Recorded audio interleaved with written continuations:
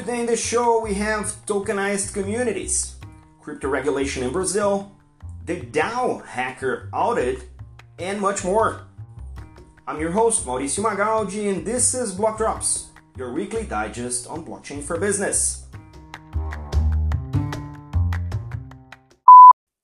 These news are not a form of endorsement, sponsorship, or encouragement for consumption and are meant for educational purposes only.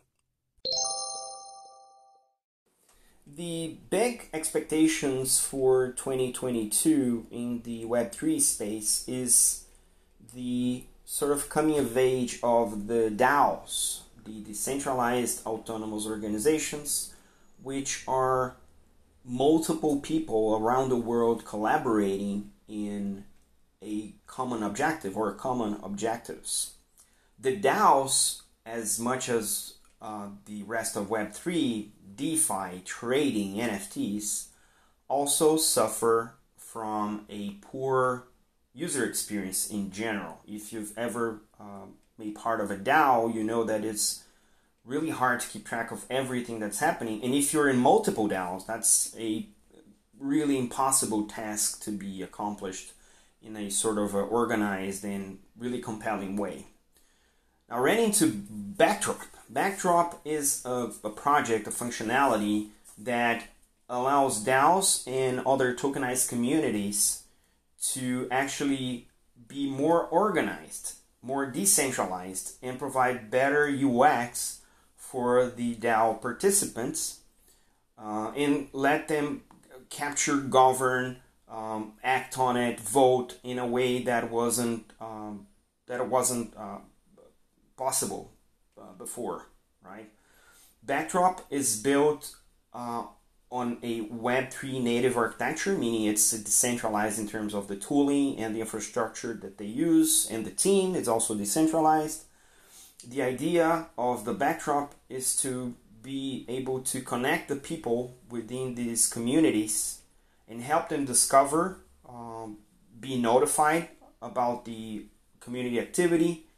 Um, that will allow them a bigger participation in voting processes and, in general, create a better overall UX uh, for the DAO participants.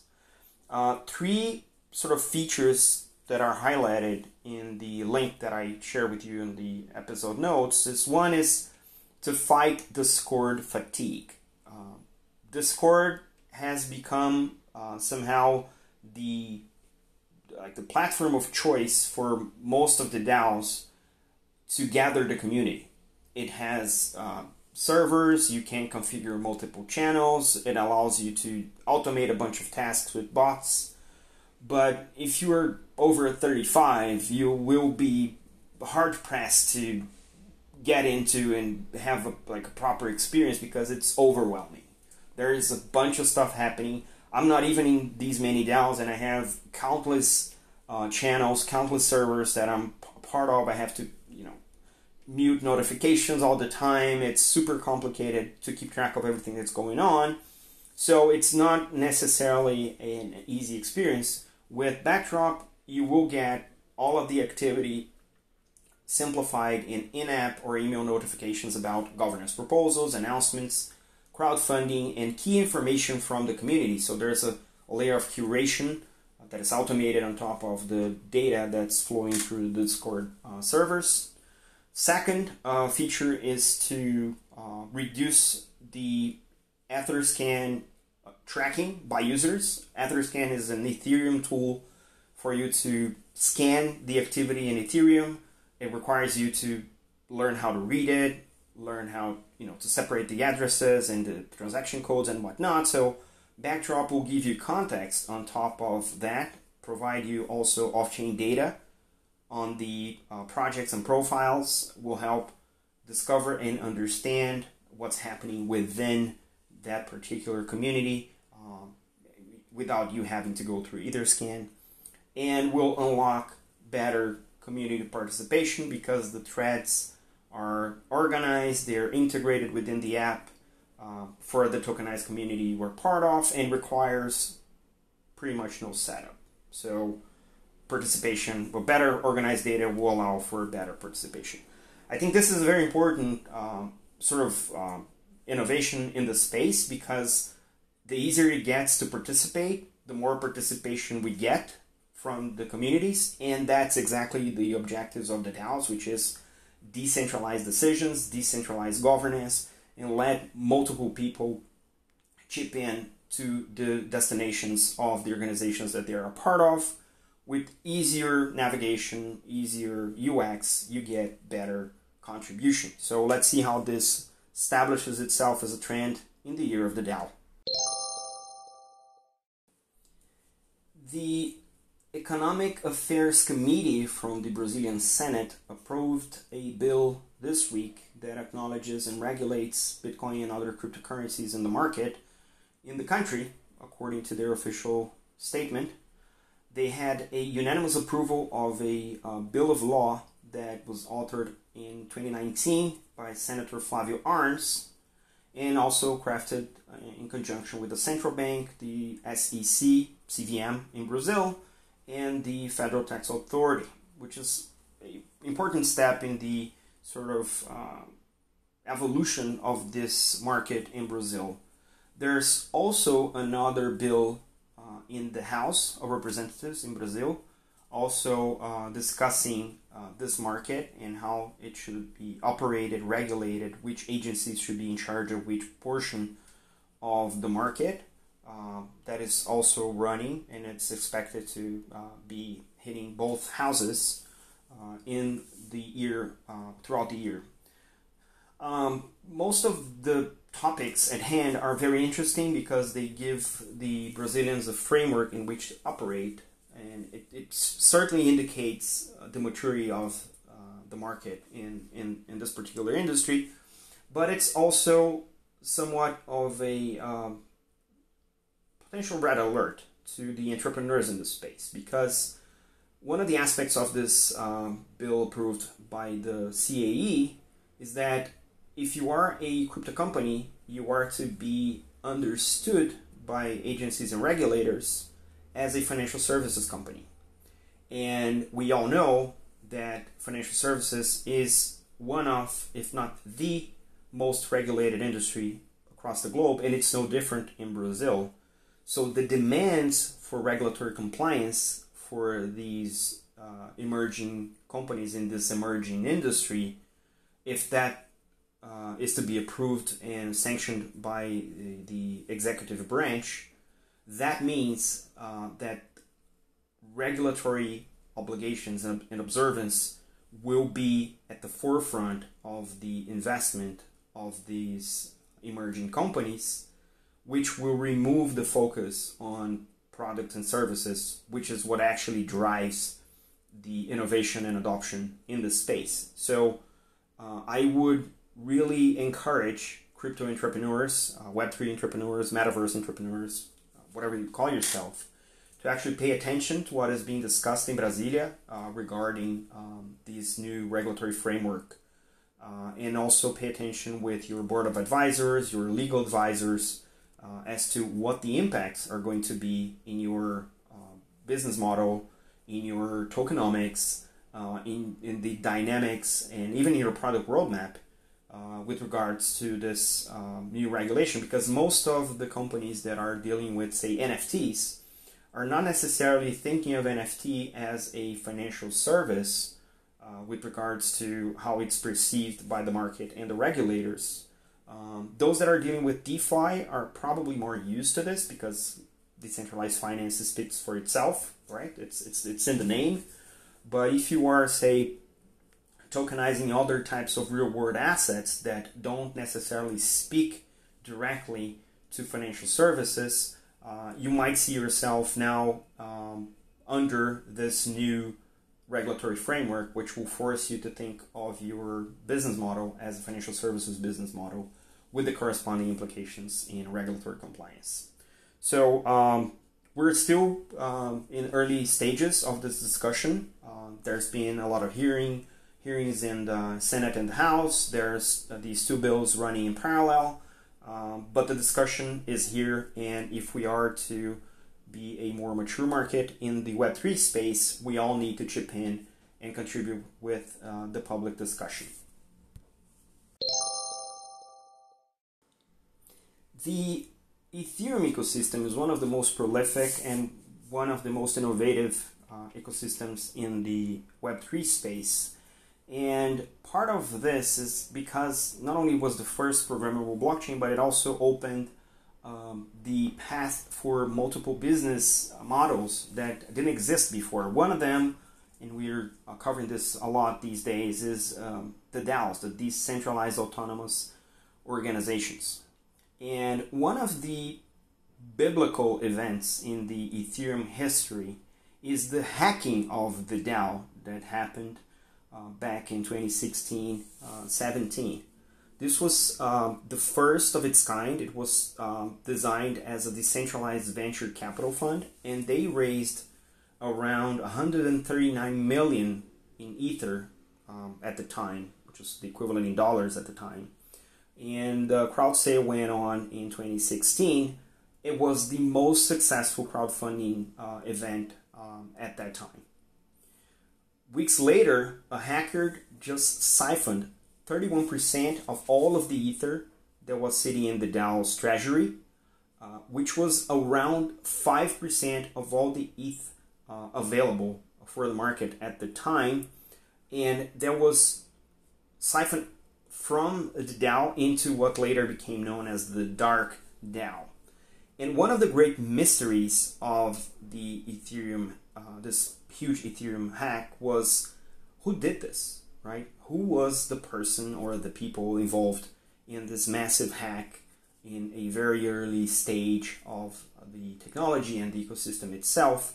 So, journalist Laura Shin, who's one of the first mainstream journalists to cover crypto full time, is launching her book this week. It just came out.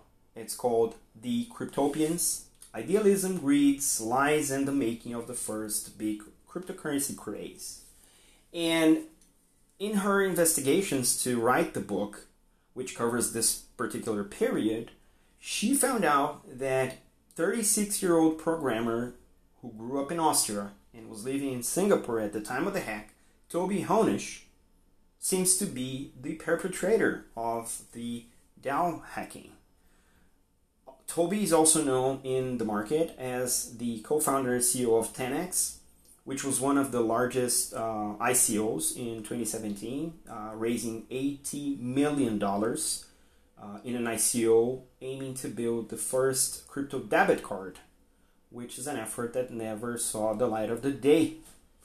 So, Toby is thought to be the perpetrator of this massive hack, and also it was the first time that a hack in an application or a dApp running on top of Ethereum forced a major fork on the protocol itself, meaning that Ethereum at this point had to be thought to either roll back and prevent the losses from ever happening or continue and take on the losses for the community. And that forced what we know now as the Ethereum fork and separated the Ethereum into two different blockchains. One is the blockchain of the Ethereum, which we all know and uh, the market is using uh, largely, and the other one is the Ethereum Classic, which didn't roll back those losses and it's currently used by only uh, a, smaller community at this time. So this was that's why we're calling this a biblical uh, event in the Ethereum history is because it forced a DAP forced um, the protocol to be changed to accommodate that uh, particular event. Uh, for us Brazilians, it's interesting. There is also uh, a Brazilian uh, named as part of this investigation. Um, the Brazilian goes by the name of AFSA in social networks uh, and is also named in the book. And we're going to try and bring uh, AFSA to speak with us here uh, for future blog talks, explaining his participation on all of these uh, perspiring events. So, and I will be reading the Cryptopians in the coming weeks. I'm hoping I get the, my hands on the book in uh, next week and I'll share with you also my findings as I go along this incredible journey.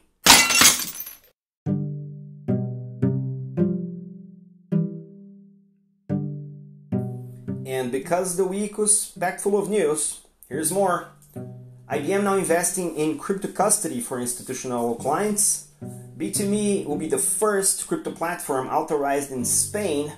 SEBA Bank was approved by the Aave community to use its ARC institutional app. Bulgarian Stock Exchange is now trading eight crypto ETFs. FTX launched its gaming unit and also a white label for crypto as a service. A DAO is being organized to buy the NFL's Denver Broncos. Solana now has an NFT vending machine available in New York City. The Spanish Stock Exchange will try an on chain feature for carbon offsets. The CBDC e krona of Sweden enters its phase 3 Brazilian exchange Foxbit raised 21 million from the OK Group to improve products and services. Spotify is hiring engineer for Web3. Upbit in Korea will launch an NFT credit card. Puma has registered its ENS address and updated the Twitter uh, name for Puma.eth, Puma.eth entering the NFT space. Luna Foundation uh, is hedging its stablecoin UST from the dollar with an additional 1 billion in Bitcoin to its treasury. Crypto is not a crime, says the US Secret Service. NYSE parent company ICE invested in T0, a security token company. The Opera browser will now integrate Ethereum Layer 2 Diversify wallet Andrew Yang, former US president candidate, launched a Web3 lobbying community. The GBBC uh, released its annual report. Coin, which is a fertilizer backed cryptocurrency, was launched in Brazil. MUFG is dropping their open payments platform, announced a crypto and NFT wallet, and also a utility token feature. BNY Mellon uh, will launch a crypto custody service. Monster Energy Drink filed four metaverse trademarks. Inevitable uh, launched an NFT course with free proof of attendance. Afterlife for Diem with ex Meta developers now raising 2 million to bring Diem to life. Coinbase is starting its operation in Brazil and looking for a country director. The Supremacy game was launched in Australia, and developers, independent developers, launched NFT World on Minecraft using Polygon.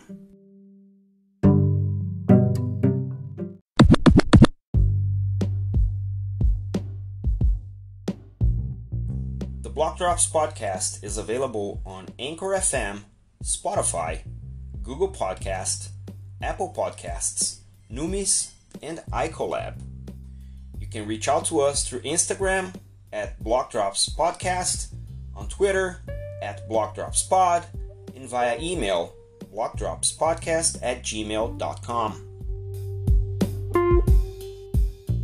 Yay! Shoutouts today to the people who share the links you'll find in the episode notes. Fabio Chesini, Brian Sanya, Ajay Tripati, Jamie Burke, Jason Yanowitz, Guerra Kiwana, Laura Shin, Brian De Souza, John Hansen, John Hamilton, J.W., Levi Brocklehurst, Ana Paula Picasso, Claudia Mancini, Grant Duncan, Andrea Frosinini, Roberto Machado, Bankless Sage Q, Richard Hamilton Stove, Alex Nascimento, João Guilherme Lira, Len Tran, and Kevin Lawson. Don't forget to leave your rating on your favorite player. This is all for today.